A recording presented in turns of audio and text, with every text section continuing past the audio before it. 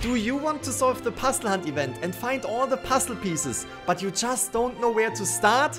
You came to the right place. Hey bears, I am the Gaming Grizzly and welcome back to Harry Potter Magic Awakened. Okay, the puzzle hunt event. It's quite a challenge, but let's get right into it. Puzzle piece number one can be found in the Great Hall. You can find the Great Hall by flying towards the Dueling Club. Once you have entered the Great Hall, you want to go to the dining tables on your left side. Behind these dining tables you can find a pumpkin and upon clicking on this pumpkin you will start the first challenge for puzzle piece number 1. For this challenge all you have to do is you have to carry a pumpkin into a blue circle. But there are a few mice trying to attack you and trying to prevent you from bringing that pumpkin into the circle.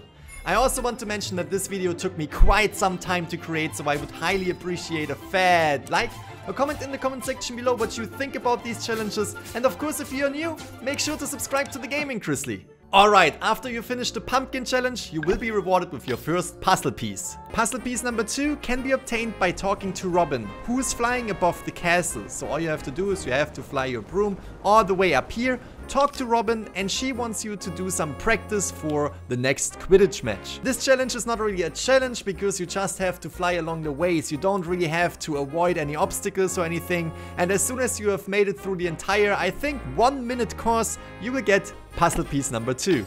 For puzzle piece number 3, you have to look to the right side of the castle. Here you can see the sea and also a little peak that reminds me a little bit of Italy. You want to fly your broom all the way to that peak and there you can find a golden light. As soon as you tap it, you have puzzle piece number 3.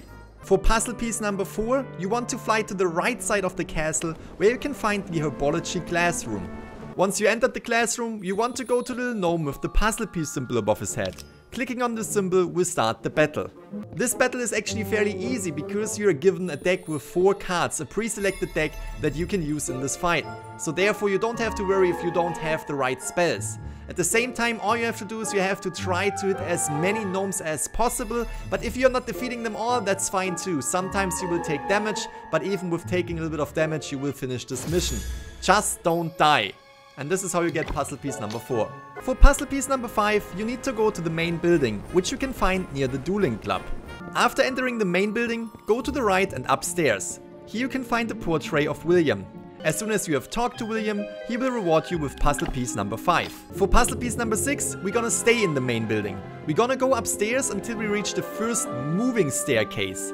We're gonna stand in the middle of that staircase and as soon as it is moving there should be a golden light coming up and as soon as you tap that golden light, there it is, you're gonna get puzzle piece number 6. For puzzle piece number 7 we have to go to the Great Hall again, which we can find near the Dueling Club. This time we have to go to the dining table on the right side, where we can find the NPC Robin. Robin wants to challenge us to a duel. This duel is actually using our own deck, so bring your best cards to just defeat her, and as soon as you defeated her, you will be rewarded with the puzzle piece you want. Puzzle piece number 8 can be found in the Diagon Alley. We can go there by clicking on the minimap in the top right, which will open up the map of Hogwarts. But we can also change to Diagon Alley, so let's go there. Once we are in the Diagon Alley, we want to go almost all the way up and on the left side we can see Weasley's Wizard Wheezers. And as soon as we have entered the store, all we have to do is we have to change our camera to the left and there we can see the golden light, which is puzzle piece number 8. For puzzle piece number 9, we're gonna stay in the Diagon Alley, but this time we're gonna go all the way up until we reach the Wizarding Bank. Now go into the center right area of the bank and here we can see 3 golden coins laying on the ground. You just have to pick them up and this will give you the next puzzle piece. Puzzle piece number 10 is one of the more complex puzzle pieces to obtain. First of all, we want to start out in our dorm, because here we can create potions. The potion that we are looking for is the invisibility potion. If you're not already having the recipe, you can easily just buy it in the shop. The same goes for the materials that you need to create the invisibility potion. You can just buy them in the shop. After creating the invisibility potion, go to your potion kit and drink it. Now that we are invisible, we want to go to the main building. And from here, we want to go all the way up. The path is quite simple. At the first moving staircase, we want to turn right. As we can see in the video, the staircase has to go right, so we can continue going all the way up. And there is a second moving staircase, but that staircase is not necessarily a problem for us because it only points in that one direction. We have to wait until it moves. And here we are at the headmistress's office. And now we are in the office. From here we just have to go to the right to the castle corridors and we will find a golden light that will give us the next puzzle piece. For the next puzzle piece, puzzle piece 11, we want to go yet again into the main building. But this time we are going downstairs where we can find the rooms of the different clubs. Starting with the Hufflepuff common room, followed by the Slytherin common room. Here we want to pay attention because halfway these stairs we find another golden light which will give us the next puzzle piece. Puzzle piece number 12 was, at least for me, the most difficult puzzle piece to obtain. Starting at the castle we want to look to the left where we can see a church down at the sea. We want to go to that church because in front of it we can see the NPC Cassandra who wants to invite us to a dance. And that is where it gets a little bit difficult because that dance is actually quite challenging. You have to play the song A Long Journey Awaits, which is quite a beautiful song, but it's also very very difficult. I personally never made it over a C rank, and a C rank is not enough to get the puzzle piece from Cassandra, so Cassandra will be disappointed and you have to do the song again. I did it again, I did it again, and I did it again. I was never able to get above the C rating. And I thought that's it. I will never get better than a C rating, so therefore I will never get that puzzle piece. But this is where I was wrong. I was trying it one more time, which was, I think, my fifth time. And after losing five times in a row, I was rewarded with the puzzle piece. So hopefully you will be able to get an S rank and you will immediately get the puzzle piece or you just have to fail it 5 times and you will get it thanks to the pity. For puzzle piece number 13 we have to go back to the Wizarding Bank in the Diagon Alley. This time we have to go all the way into the spec area where we can find another golden light and as soon as we are tapping that golden light we will have another puzzle piece.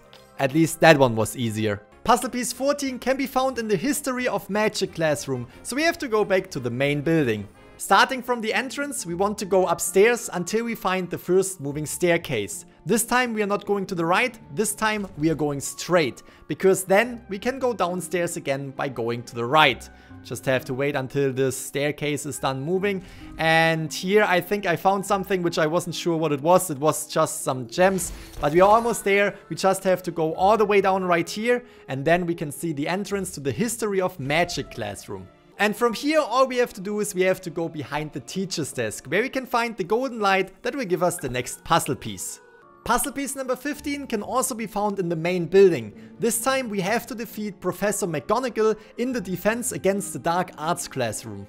Upon entering the classroom you have to turn around where you can already see Professor McGonagall waiting for you. She has the puzzle piece sign above her head and as soon as you click it you can enter the fight.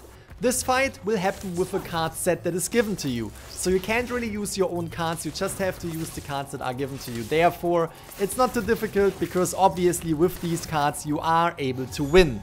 After winning against Professor McGonagall, you will get your puzzle piece. Puzzle piece 16 is quite similar. This time you have to fight and win against Hagrid.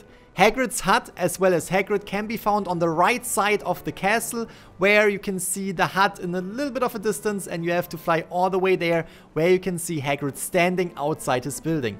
He has the puzzle piece symbol above his head and as soon as you click it, you will enter the fight. For this match against Hagrid, you're also getting a preset of cards, which means you can't bring your own cards. But since this is a preset, it should be quite easy for you to defeat Hagrid without any problems and therefore get your next puzzle piece. Puzzle piece number 17. And yes, I am well aware that I have said the words puzzle and piece around a million times in this video already, but we just keep going. Puzzle piece number 17 can be found in the main building. From here you want to go downstairs where you can find the Hufflepuff room and here we have the portrait that you just have to talk to and that will give you the next part of the mystery game? See, I can't really, I can't really say anything else. It's, it's a puzzle piece. We got, we got another puzzle piece. For puzzle piece number 18, we want to go to the Quidditch pitch. The Quidditch pitch is right behind the castle, so you want to use your broom and fly all the way over there. Once you have entered the center of the stadium, you will find the golden snitch. Now all you have to do is you have to click on the golden snitch. I personally had a little bit of issues when I was standing on the field and tapping on the golden snitch, so therefore getting on my broom and then tapping on the snitch was definitely helping me out. Puzzle piece number 19 is located in the herbology classroom. As soon as you enter the classroom you can find a little wiggling plant and as soon as you tap on that plant you will get the puzzle piece. Puzzle piece 20 can be found in the Diagon Alley again. Here we just have to turn our camera to the right and right next to the quality Quidditch supplies we will see a golden light coming up which will give us the puzzle piece.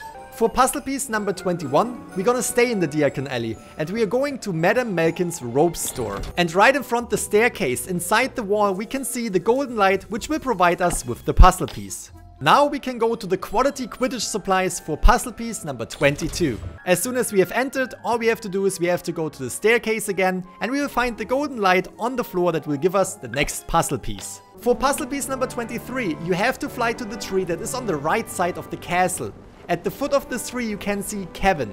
As soon as you engage with Kevin, you have to fight against the tree with your own deck. And since you can bring your own deck, I want to give you some recommendations. First of all, stay away from the tree. It deals high physical damage as soon as you're getting too close. That also means bring a lot of magic skills that you can use from a distance.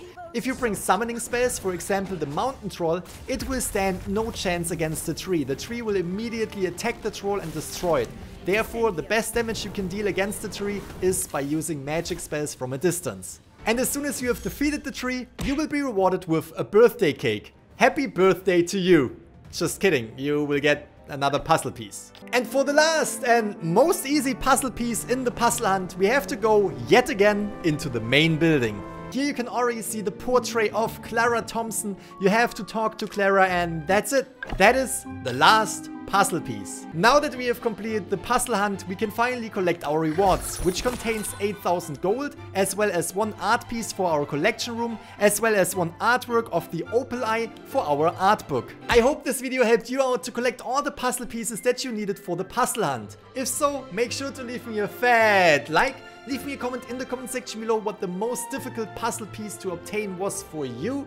For me, it was definitely the dance with Cassandra because that was just impossible for me. And of course, if you're new, subscribe to the Gaming Grizzly.